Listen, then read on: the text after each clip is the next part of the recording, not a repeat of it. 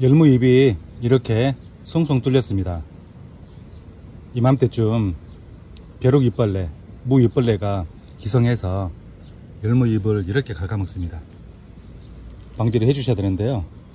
천연살충제로 막걸리와 사카린을 이용한 천연살충제를 만들어서 살포하셔도 되고요. 저 같은 경우는 유기농 에코사이드를 살포해서 방지해 줍니다.